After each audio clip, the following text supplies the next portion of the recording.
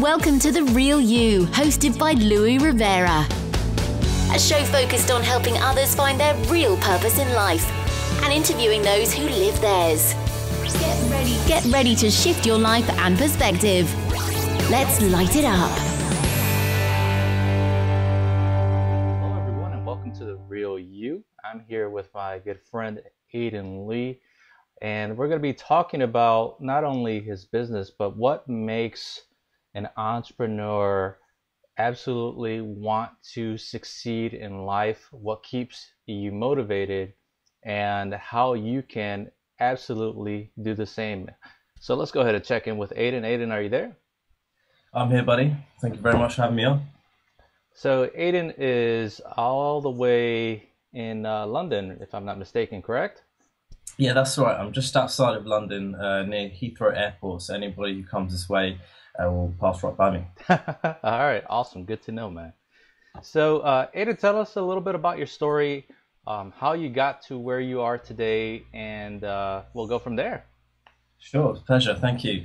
Um, so my background is, is mostly in, in martial arts. That's where I originated back when I was about five years old. So uh, looking about 19, 20 years ago now is where I originally started. And I first learned under my dad, who had one of the first um, kickboxing schools in the area back in the 80s. Mm-hmm. And uh, throughout the, the years, I think I was teaching from about 10 years old, the other people in the class. Wow. And I was always, uh, you know, trying to pick up and learn as much as possible. It was quite a, an old school sort of background, so it was very sort of rough and tough, sort of old school Rocky gym, if you like. So you had to just get on with it and do that, uh, do what you're told, if you like. But it was a good environment to to learning because everyone was always constantly striving to do better and to to be more, if you like.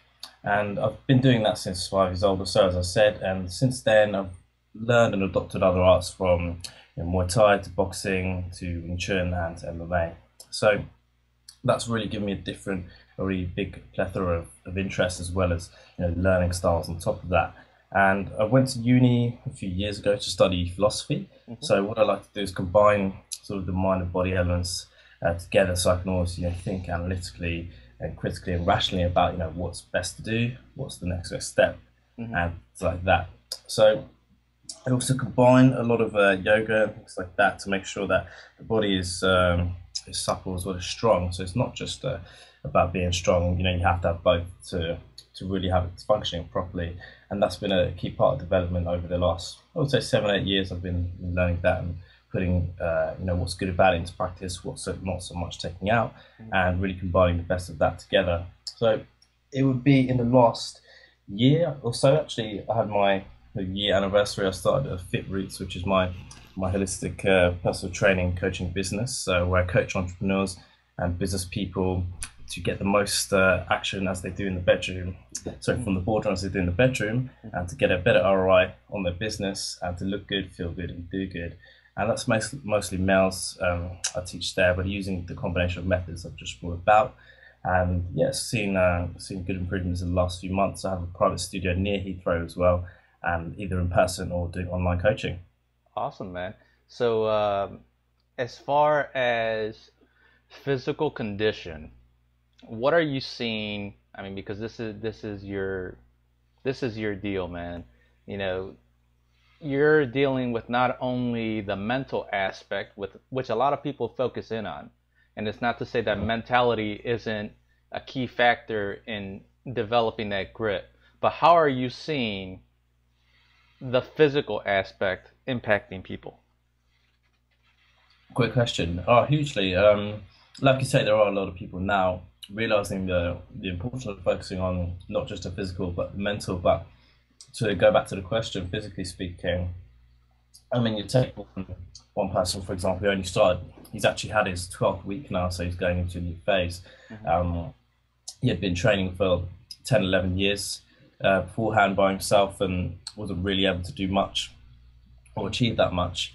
Uh, in the last 12 weeks, he's kind of outshone all of that in a you know tenfold really. So it's really about being efficient and uh, you know really pushing the boat out there. So I would say there's big changes, and I think you find a lot of people uh, deal with a lot of fluff and try all these different things that they don't really need. But when it comes down to it, you say, right, this is actually what we need, mm-hmm. and to be more efficient and to get results quicker, um, definitely physically, you can see the big big results as a result of that. Yeah, awesome. So when when combining when combining the physical aspect into your coaching, um, have you seen some of the mental blocks come up for some of these guys? Yeah, definitely. Uh, I would say one of the biggest mental things is I do expect clients to do a fair bit. Um, I think some, you know, some people uh, can only expect their clients will say to their clients, you know, you only have to do this and you get lean and, and ripped or whatever it may be they're looking to achieve. Mm-hmm. Uh, but on top of that, you know, I want people to have a better quality of life. So, you know, uh, for example, all good and well as HIIT training is, I don't think it's, it's enough, you know. Mm-hmm to do what people really uh, require. So I think that's quite the biggest mental shift that people need to realize that yes, it's going to take a bit of work or a bit more than expected, and it's actually okay to go maybe a little bit slower than going from 0 to 100. Maybe just take it a step at a time, and that's probably the biggest uh, change also that people need to be a little patient to.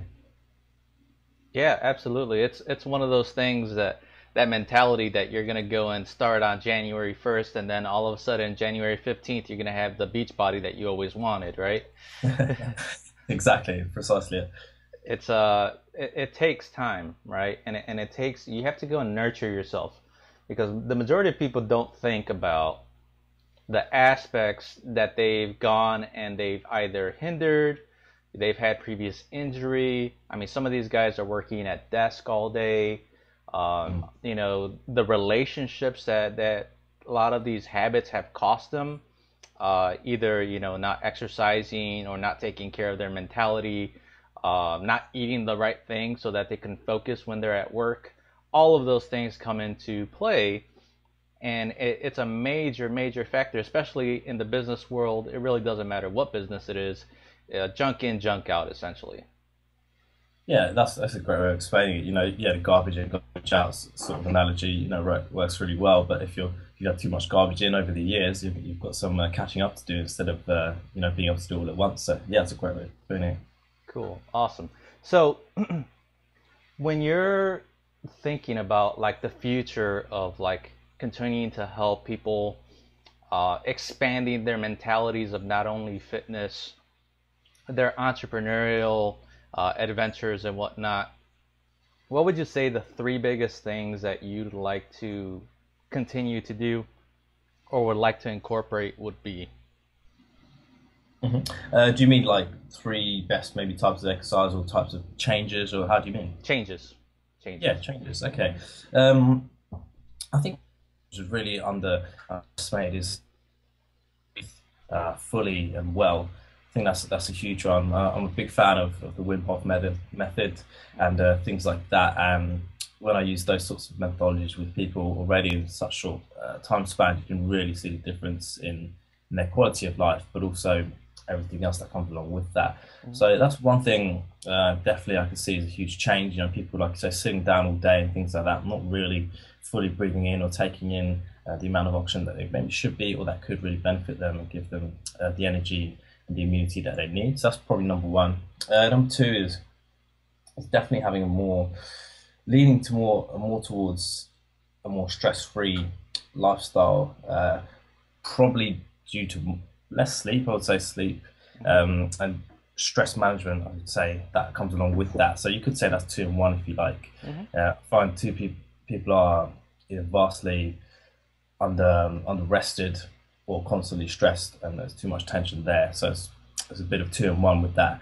So that's number two. Number three, I would say, is definitely having having a more uh, plant-based, dense dense diet with more fiber. One thing I find with people is they lack huge amount of fiber, certain nutrients uh, on top of that, uh, which is only going to contribute to their their illnesses or whatever it may be. Yeah, for sure. It's one of those things that the majority of people don't think about. You know, they'll go strictly paleo or they'll go uh, bulletproof or they'll go vegan or they go vegetarian mm. and uh, but they don't think about the fiber amount right they don't think about balance mm. right at, at, the end of the day whenever you have any shifts just like you were talking about there is a stress factor be it mentally physically, emotionally, whatever it is. And and that stress factor has to have some sort of buffer so that they can go and make a transition that's smooth, even if it's kind of challenging at times.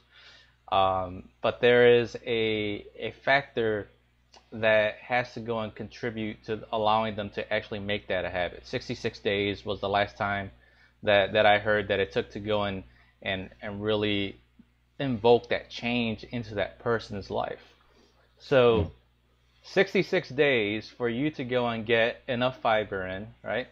To go and mm-hmm. get make that a habit, right? 66 days of you breathing properly. And I just finished Wim Hof's program, this 10 week oh, online program. So big, big fan of, of Wim Hof and everything that he's done and contributed and continues to contribute to humanity because he's just awesome. Oh. And, uh, and and really the the biggest factor that I, I think that you just mentioned was the ability for them to manage stress. And that's you know you you led me right to it, man. So I didn't you know this is not scripted uh, like a lot of shows are. You know, this is you know completely you know a, a flowing conversation. So um, when it comes to stress, what are you finding to be like the highest contributors to stress in people's lives? And what are three key aspects that you can give to the audience that could really just like help them change like starting today? Hmm. That's a, a, great answer, by the way. Just to recap, you know, some some really valid and interesting things there. Um, yeah. So when it comes down to stress, three key things. One I would say is uh, obviously nowadays the, the stresses are are different to when we, you know, ancestrally speaking, had them arise as much more direct fight, fight or flight. Nowadays, you know, stress comes in many forms uh, unfortunately, but that's the way we've got to deal with it, and we've, we've got to have a little workaround if that makes sense. So one of the biggest things I would do is, is to mentally you know, realize when and where it comes up. Mm-hmm. So, for example, uh, you know, if you're if you're looking at your phone before bed and you can't get to sleep after that, and then maybe you realize, oh, that's maybe the bright light from the phone that I should stop doing. So find it, find out what the purpose is or why it's causing you stress, and when you can stop it or change it and even if you can't, just even just noticing it is, is probably the first step, and then you can find out right how can I actually fix that. Mm-hmm. Mm-hmm. So that'll be I would say number one. Uh, number two is you know like you said you've just done done the Wim Hof course, uh, and it'd be great to hear your thoughts on that too. But uh, yeah, you, you, clearly sound like it's uh, it's been beneficial to you. I would say um, just doing some some form of breathing exercise, whether it be just uh, you know stand standard sitting down, crossing legs meditation, or doing some sort of more more um, controlled, heavier breathing exercise like that, if you like. Just mm-hmm. something to really, really fill yourself uh, with oxygen, feel good, get that feel good, relax factor would be number two. Uh, number three would definitely be more sleep. I think, uh, and not just more sleep for the sake of it, but better quality sleep. I find as well, uh, as entrepreneurs with someone in that health space, is that if I don't get enough sleep, I'm a bit cranky, I'm a bit, you know, this and that. It's not conducive to the success that I want to have, um, you know, throughout my life or in my business. And I think uh, if I'm having that, I definitely know a lot more entrepreneurs who aren't even in this space are experiencing that. Yeah, yeah, totally, man. Those are awesome. Uh, I hope you guys are uh, are taking notes, and we'll make sure to go and have Aidan's uh, information so you can find him, locate his website, you know, ask questions, get get in touch with him because you know he's really he's really changing the game, and uh, that's why I wanted to ha- have him on. It's it's one of those things that you know, like when Wim Hof came onto the scene, just to go and answer your question, just so I don't forget here. Uh, when Wim Hof came onto the scene and I was introduced to, to Wim Hof, frankly, I thought he was crazy, right? you know, I'm, I'm going to be straight up. I was like, what are you talking about? This guy is swimming through, you know, ice, running through just like, you know, this cold, frigid air, you know, running through the desert without having water. You know, this just sounds like a ploy. You know, it, it sounds like the equivalent of of health meeting, make money online. you know, it's one of those things that just kind of like freaks you out. It's just like because it's so abnormal.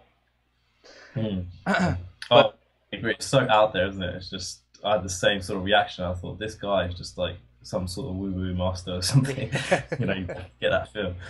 Yeah, man. But you know, one one of my buddies who's, I mean, who's an absolute ninja when it comes to uh, functional fitness and and really helping people get out of pain. Uh, Naudi, who's uh, at Functional nice. Patterns, and uh, he went and he started doing it. I was just like, well, if Naudi's even going and testing it out, I was like, there has to be something there, you know. So I jumped into this, you know, and I'm already on my on my second round of the course, right? So now I think I'm on week 14.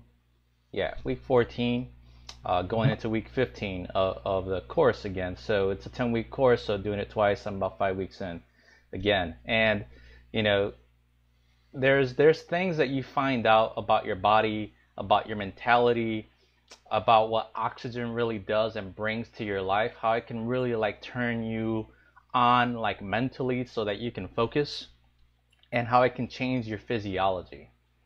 And more than anything, you become aware. And that is the biggest factor that I find with pretty much any industry that I've dealt with. There is an awareness that needs to happen. And the majority of folks oftentimes will go through their life and not develop an awareness be it physically, mentally, emotionally, there's a lack of connection. And with the Wim Hof method, I think more than anything, I've been able to develop a higher sense of awareness, a higher sense of mindfulness and congruency. And you know, not to go and turn this into a commercial for Wim, because he doesn't need it, frankly.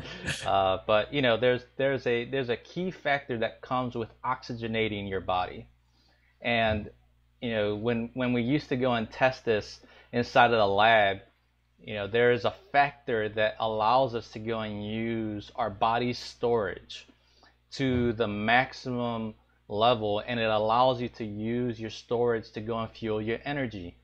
You know, Dave Asprey talks about this, Joe Rogan talks about this, using different factors of oxygen to go and essentially fuel you and help you get into that zone uh, the the book uh, talking about flows. There's plenty of them, uh, but getting into that state of ultimate focus, so that you can essentially be your best. And the majority of folks are so stressed, and it's not even like, you know, you're being chased by a Tyrannosaurus Rex. That that's not the stress that we're all under. We are under a stress that is absolutely hidden oftentimes and the more aware that we are of that stress existing, the better we can uh, combat it and learn to go and deal with what's presented to us. Yeah, yeah, most, you know, you made some amazing points there. I most certainly agree. Um, you know, the stuff, the advertisement, but the stuff that we're seeing is definitely life changing. Uh, same as, as Naudi, you know, huge respect for Naudi Aguilar from Functional Patterns as well. He's, he's doing really changing up and shaking up the industry. So uh, you know, props to him. Got to give him respect to where it's due. And uh, as you say, yeah, with the stress, people don't even realise that they're on the, the, levels of stress they are. It's uh, it's really phenomenal, and yeah, the way you described it really fits that picture perfectly. Awesome, man. So let's go ahead and, and, and start closing down here, shop. So Aidan, where can we find more information about you? Where can people train with you, talk to you about your coaching program?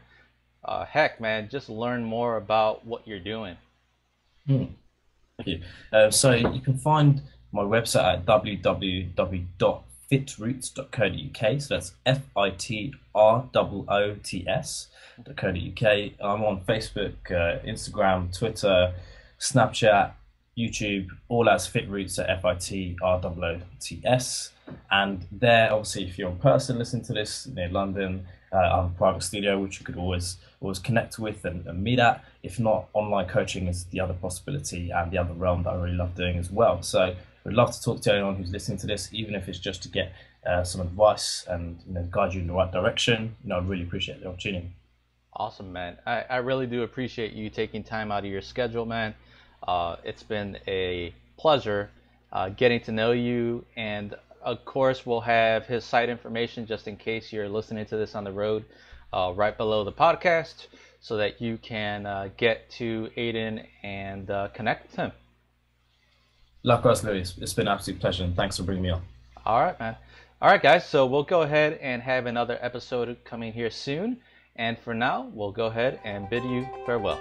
Take care. Thank you for listening to The Real You. We hope you were uplifted and refocused on your true sense of yourself. Visit us online at voguefitnessforlife.com. Remember that in the absence of clarity, always take action. Shine on.